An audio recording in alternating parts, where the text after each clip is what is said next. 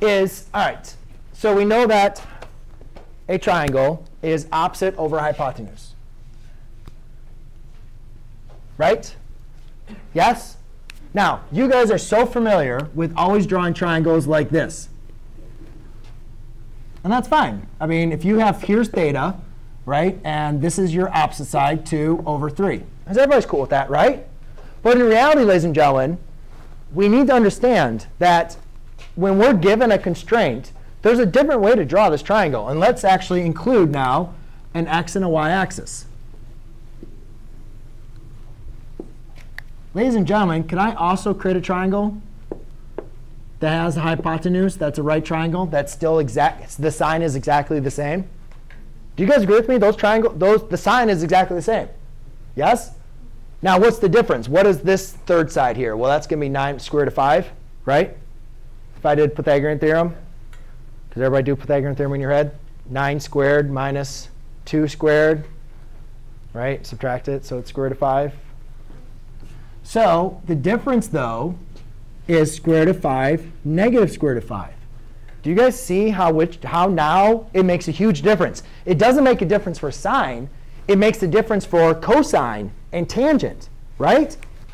Because look at guys, if it's in whatever quadrant it's in, if it's in the if it's the triangle on the right, cosine is positive. If it's a triangle on the left, cosine is negative. If it's the triangle on the right, tangent is positive. If it's a triangle on the left, tangent is negative. So how do we know which triangle it is? Well, they gave us this constraint. Cotangent is greater than 0. That means cotangent is positive. Now, I gave you guys only the three trigonometric functions. The reciprocals are exact same thing. Which, which quadrants is the cotangent going to be positive? It's the same thing as tangent. The third and the first. Well, do we have a triangle in the third and the first? Yeah, in the first. So guess what? That is not our triangle given our equation and our constraint. If you're not given a constraint, then you would just do like we did here and just draw a random triangle and do it. OK? There is no positive or negatives. If you're just given an equation, just do it as is. However, if you're given a constraint, positive and negatives mean the whole difference. So our sine of theta is 2 thirds. If sine of theta is 2 thirds, then we know that cosecant of theta is 3 halves. Right? Reciprocals? That was easy. Cosine of theta is the square root of 5 over 3.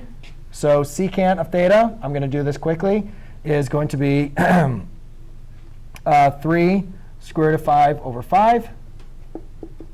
Tangent of theta is opposite over hypotenuse. So that's 2 over um, square root of 5 over 5. And cotangent of theta is going to be uh, opposite adjacent or opposite, which is square root of 5 over 2. And that's it. OK? Anybody have any questions on that?